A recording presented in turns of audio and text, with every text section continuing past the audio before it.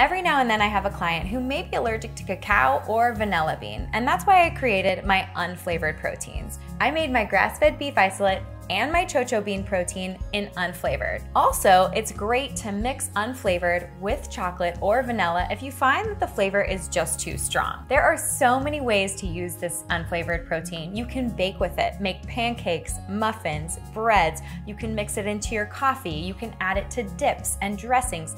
Anytime that you find that you're under eating protein, these are versatile, clean proteins with only one ingredient that you can add to anything you're baking or making in your kitchen. Now, let's make a strawberry kale walnut smoothie using my unflavored protein. First up, we're gonna need two cups of unsweetened nut milk. Today, I'm using unsweetened cashew milk. Next, we're gonna add protein. I'm gonna use my plant-based unflavored chocho bean protein. One scoop is gonna serve up 20 grams of protein. Next, we wanna add some fat, and today I'm gonna add whole walnuts. Anytime you're adding nuts to your smoothie, it's gonna thicken your smoothie and it's also fun if you're looking for a little bit of chew or bite. So about two tablespoons of whole dry roasted walnuts.